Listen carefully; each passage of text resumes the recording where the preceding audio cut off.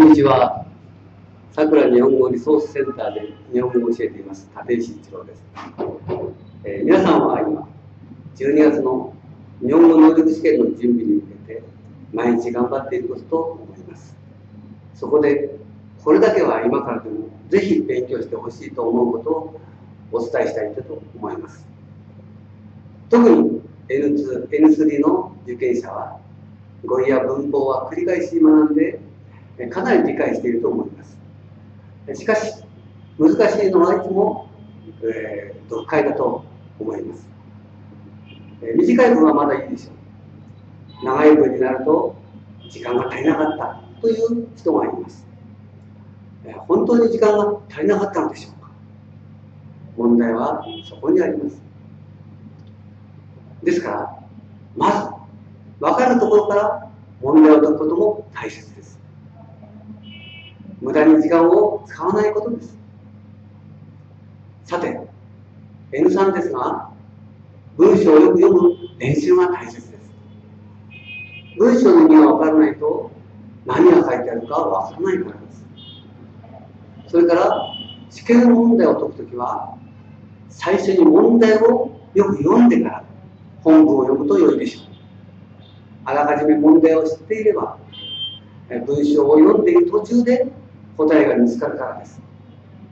それには、過去の日本語能力試験の問題をやってみることも大切です。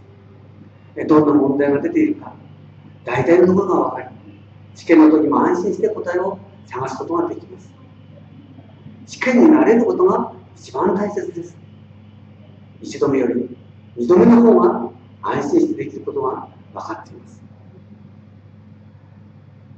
L2 は中文、長文に関しては最初に一番下に書かれている出典のテーマを読みましょう。誰が何について書いているか。